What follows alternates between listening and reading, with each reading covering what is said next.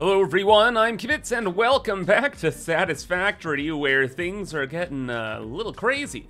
Because after months of working towards the final space elevator part in the game, we're now actually getting into some complicated material. And not just spamming 20,000 of one random material as we have been. Big problem though, that you might be able to notice, is that we're kind of running out of space to build big mechanical setups. And later this episode, after I allocate some of our last remaining pockets of space, we're gonna have to start making some expansion plans. But that is something we'll focus more on later, because right now I have a goal today, and that is to automate 100 heavy modular frames. Oh yeah, that's gonna be a lot of manufacturers. But we have a lot of stuff to do before we can actually get to the frames. Uh, main thing is, you have weird little pockets of space like this, and I want to fill them with as many machines as I can for little projects that we have still on the to-do list. For one, we need to make some AI limiters, and we only need like 10 assemblers for this. So we can fit, what is it, five here? Looks like it. Just get rid of the last one. Maybe another 10 down this way. Three there. Three over here. Get rid of this first one for some belt work. And after the usual application of spaghetti, we now have our AI limiters. Again, it's, it's not a lot. We're using the only recipe for them. And the only reason why we want a couple is so we can make electromagnetic control rods. And we already have a huge supply of stators. So we just have to go and grab a belt of them and bring them to somewhere. Well, specifically to a place that has 12.5 more assemblers. Except we have to find a place for those extra assemblers. Now we do have this area here, but this area is all gonna be a, a beltwork nightmare. That's at least the plan. But then we have a pretty decent chunk of unallocated space right here, both on the left and right of these train tracks. And you know, it's only 12 and a half assemblers, right? Well, 13, I guess, because we're gonna have to underclock one. We could probably fit that in here. Just like three here, another three there, and uh, another three there. And then we just need another three and we're done, yes? Can I mirror this? I can. And okay, cool. So three, six, nine, 12, belt spaghetti. And another little system is done. Luckily, the belt work wasn't too bad. Like I found a tiny bit of space to bring these over over here. And the AI limiters, well, things are getting a little out of hand with them. As we have continued to build and build and build, we are running out of space practically everywhere for belt work. So it's just like a maze every time, trying to duck and weave through other production lines, and specifically over train lines. Oh my gosh, the train lines are an annoyance. Ah, but I keep making it work somehow. But very quickly, the world is turning into this. And that was just for these small projects today. Now we're actually gonna move on to the big one. That's right, the heavy modular frames. I know a lot of you guys are familiar with them. They're kind of like the first, like, oh my goodness kind of item in the entire game. And for good reason, they're a little spooky. Basic recipe needs 5 modular frames, or 10 per minute, 30 steel pipe, encased industrial beams, and screws. if you use the default recipe, which I do not recommend. Uh, we, though, are going to be using the heavy encased frame, which needs pretty much all the same stuff, except concrete instead of screws. Only problem with it is these numbers are just like, bro, what's happening? Like 7.5 modular frames per minute? 9.375 encased industrial beams? Like, what's going on? And then we get 2.813 heavy modular frames per minute? like, what? But fortunately for us, for this entire project, we're doing everything in like an overflow method type system, where we're not balancing the belts, we're just making precisely the amount of things we need, throwing them into machines, and then pooping out whatever we want. So here we already have all of the modular frames done and ready to go. Then we have steel pipe just being made all over the place. And our concrete is all centralized here. So for the astute among you, what ingredient are we missing for our heavy modular frames?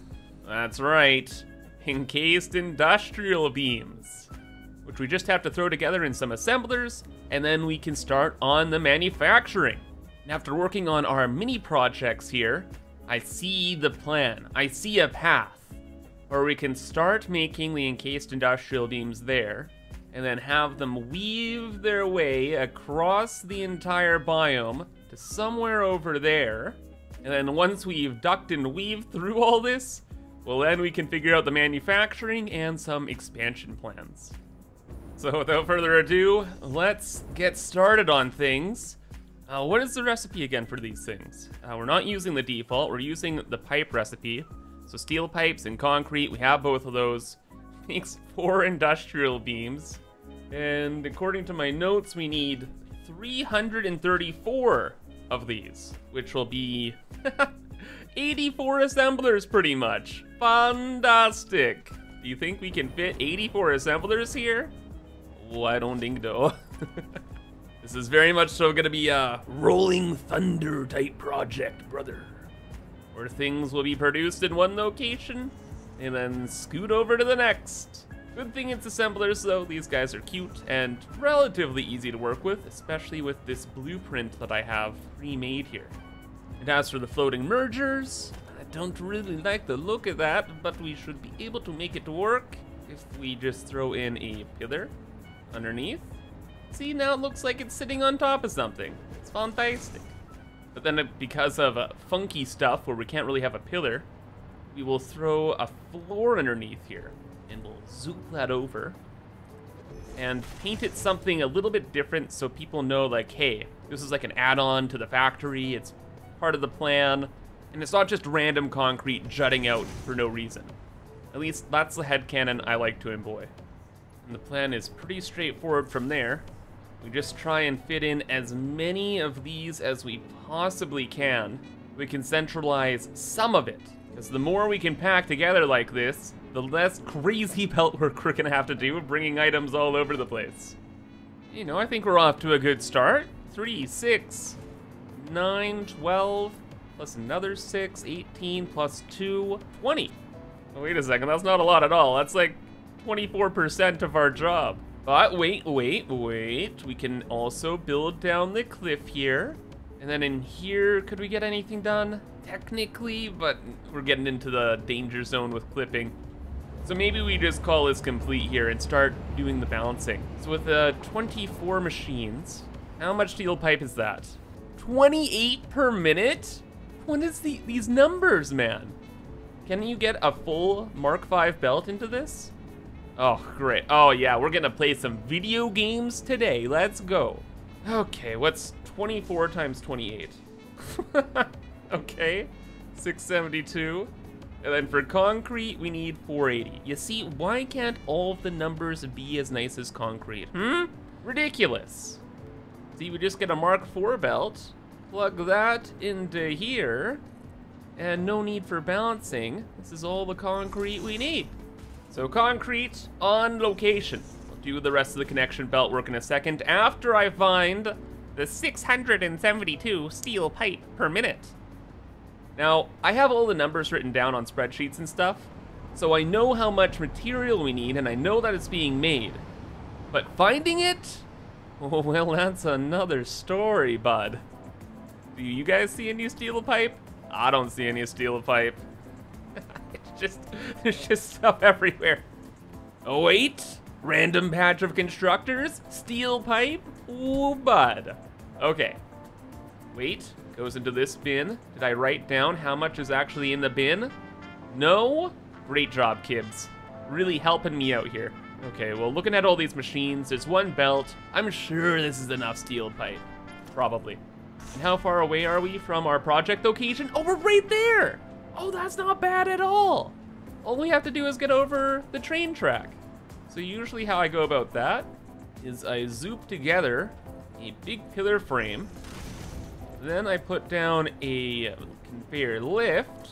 That goes up to like here or something. I don't know. I kind of eyeball it. And off I go across the way. Zoop up another one. Place it just like so. Connect. Ah, don't connect them up. And cry a little bit inside. Okay, we'll just put this here temporarily, connect it up, and then for aesthetics, well, this can just go bye-bye.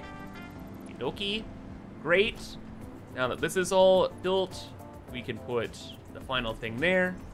Get rid of that. And that will be pipe in just any moment. Any moment. There we go. And the bridge looks pretty cool too.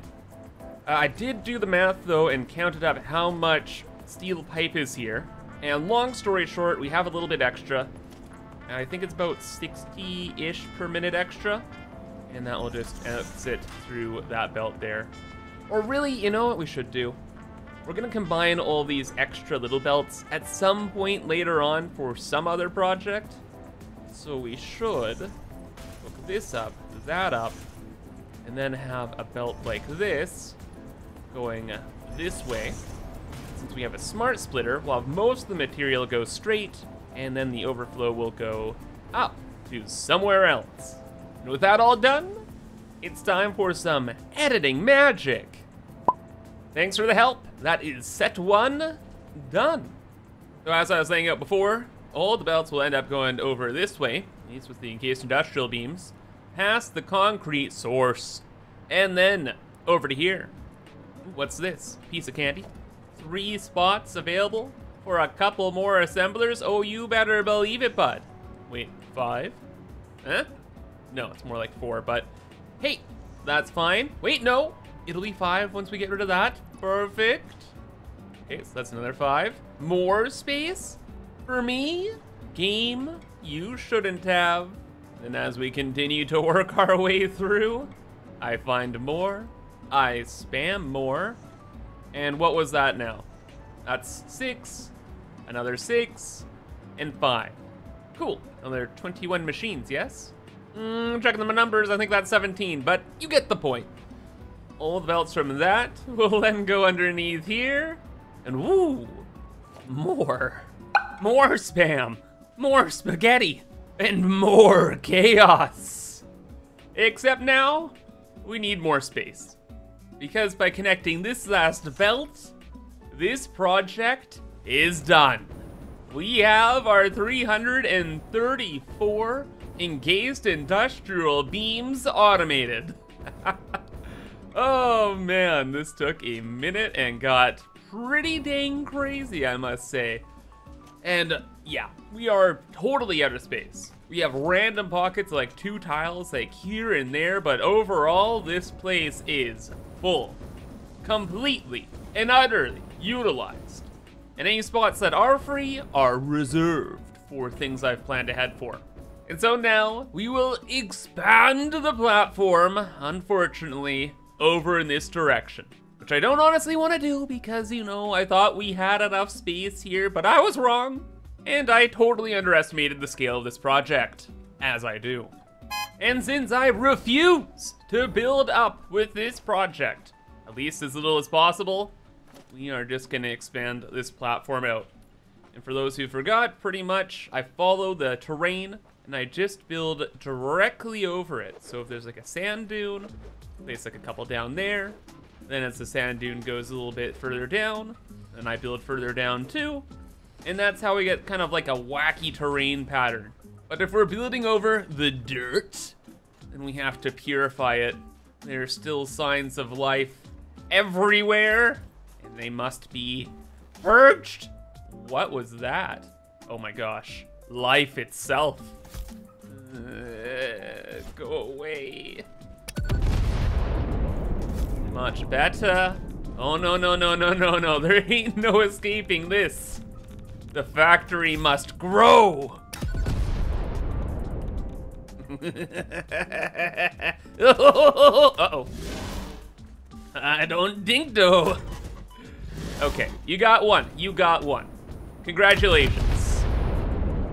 A small price to pay to turn your family into radioactive ash. Also though, we're gonna expand over this way too, because we actually have quite a few more projects to build and we're gonna need a lot, lot of space. Wait, a tree? I don't like this tree.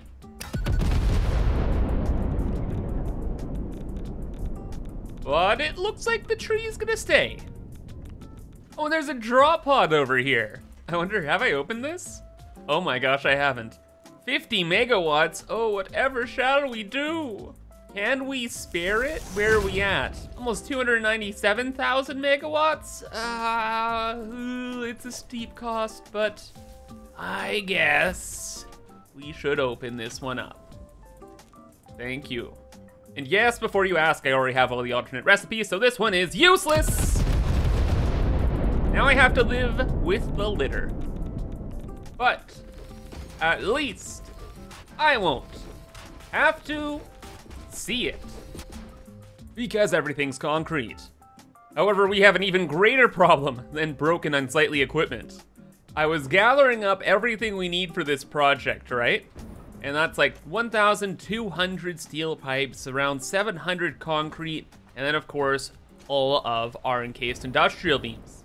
And I got everything here, but we're missing that one key ingredient, the modular frames. And where are they?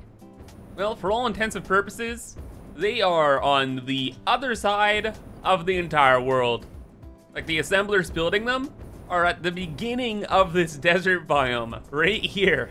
So, uh, it's gonna be a long belt.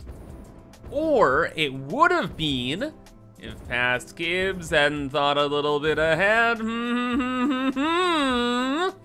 That's right, we're gonna truck them all the way over here. And then once we make the heavy modular frames, we'll truck them back. Problem is, we don't exactly have a truck station available. All the ones I've built already are being used. So what are we going to do? Well, maybe if we follow this truck. Or maybe if we don't follow this truck and just follow the road, maybe we'll be able to find, oh hey, a new area for more truck stations. It's like we just built this. Fantastic. So I guess like, I don't know, here, we'll open this up. We will extend the platform at this height and adjust it. So have the trucks drive to the right here, then have the trucks go again to the right to some truck stops, like over here or something. Park for a moment, drop off the goods, and then scoot back to this road. And I don't know, I guess pull a Yui, head back this way, and follow this road back up to the main highway. Easily done! And this system can be expanded by having more road go over this way, building more truck stops over there, and heck, we can even do some more road shenanigans if we want to go further with it. But that is a thing for another day. Let's get this truck route all set up. So we build the truck, it'll stay here, we'll have it stop by a sip and scoot somewhere to pick up fuel, and then, wait a second. This is dumb. What am I what am I doing? I'm gonna have the truck go all the way to the end here and do a Yui? Yeah, I gotta level with you. I did not think that one through very clearly, but now we have a way, way better design, and we can fit in twice as many truck stations. So now the trucks just go down this road, and then they go through the truck stations, and over here is kind of an exit road where the trucks rejoin the main loop and the highways and whatever.